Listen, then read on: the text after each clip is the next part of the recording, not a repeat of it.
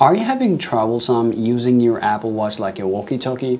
And even when you're trying to send the invitation, maybe it says unable to send the invitation to your friends. Well, if you're having this problem, keep on watching this video because in this video, we're gonna show you how you can figure out this problem and how you can solve it at the very same time. Now let's go and get started. Well, the very things that we're gonna have to do with that iPhones. Now at this point, I'm gonna go ahead and leave this Apple Watch on the table to take all of this process. Now let's go ahead and leave them all here. And now all I gotta do, I gotta grab this iPhone. So here we got the both iPhone for both devices. So now, now the first thing that we're gonna have to do from our iPhone is just go ahead and open up your settings. You scroll down all the way back to your FaceTime. Here's the FaceTime and here's the FaceTime as well. Now scroll down and check. Well, it is very important. As you guys can see, our FaceTime is activated with your Apple account. Now, it can be activated with your number, that doesn't really matter, but make sure that you are having this mark right next to either from your number or from your Apple account. At the very same time, go ahead and tap back for both devices.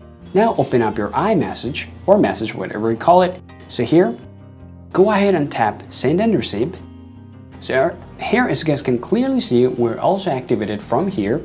That means our process will definitely work. So once again, it can be activated with your Apple account and with your number, okay? So now I'm just gonna get out of here. And the next things we have to be very careful with that are Apple accounts, okay? So if I just go ahead and open up the settings for both devices, then you can clearly see that we're using the different Apple accounts. Well, make sure that you're using different accounts otherwise it will not be working. Now let's move on to the third process. And the third process we're going to talk about is updating your Apple Watch. Well, which is very important. So let's say if your one Apple Watch is up to date or one is not, and at this point, your Apple Watch will not be working. I mean, your walkie-talkie will, there will be less chance to be working. Whereas here, here, all you gotta do is just go ahead and open up your Apple Watch application from your iPhone, and then just come down here, tap on General, and now go ahead and check the software update, which is very important as well. So if you see that your software update is, let's say it's up to date, that means you're good to go. Now, let's go ahead and check our next process. And the next things we're going to talk about is to check your contact list. Let's say you have friends, but for some reason, if you don't have your friends' contact list on your contacts, your walkie-talkie won't be able to find them out. So here, make sure that you have the contact on your iPhone contacts so that you can get to go to the further procedure to fix your problem. Make sure that you have your contacts and now let's go ahead to the next process. Now we're done with this iPhone. Now all you gotta do, we gotta start working with that Apple Watch. Now I'm just gonna leave out to this iPhone right here.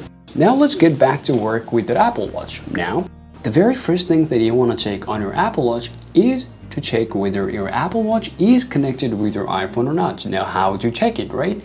Now you simply can swap it from the bottom for both Apple Watch and now see whether on top of your Apple Watch is it green or not.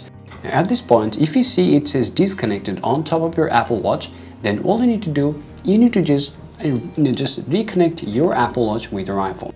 Now once you've seen the green screen, that means you're connected. Now let's go to the next process. Now let's go ahead and talk about the common problem that people are facing, especially when it comes to sending the invitation to friends. What happens when they try to send the invitation to their friends, they get this error. It says, well, your friend is not available for walkie-talkie. Now, before you go ahead and fix this problem, the first things you need to do is very simple. Now, if your friend is already added to the list, you simply can swipe it to the left and tap cross.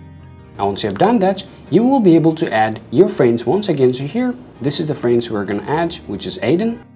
So I'll add him from here. Now once you've done that, let me just dismiss it, dismiss it from here. Now, then you'll be able to see that notifications will be sent to your friends. Now it is asking, well, always allow. Now hit always allow. And now and you'll be able to see that it's get connected just like that. And now I'm just gonna go ahead and select Aiden and now you can start talking. Alright now I'm just gonna go ahead and tap and hold this one just to make a sound. Let me just put it away. Hey there how's it going?